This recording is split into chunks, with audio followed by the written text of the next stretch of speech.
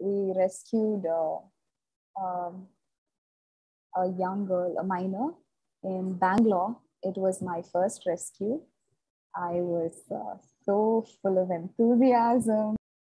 Uh, during the rescue, uh, right after the rescue, when we brought the girl back with us, I remember holding her close to me and I was telling her it's okay because she was crying a lot and she was so jilted by everything that was happening.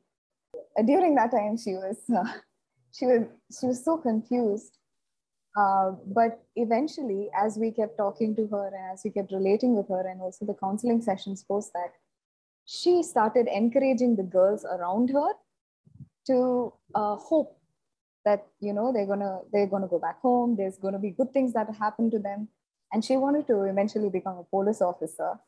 And uh, I am hoping that she is actually achieving that goal right now because that was amazing. The first one, uh, she immediately, you know, after a couple of uh, counseling sessions, she said, I want to become a police officer. And I totally understand why, because it was the police along with the, with us, although we were in the side, uh, that actually helped uh, uh, her get out of the problem that she was in and the bondage she was in. So I'm so happy that she she had so much hope in her heart to think of something like this and pursue something like that. So yeah.